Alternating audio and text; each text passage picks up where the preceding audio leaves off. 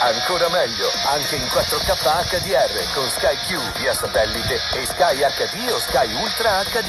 La Formula 1, vivila così, su Sky e in streaming su Now.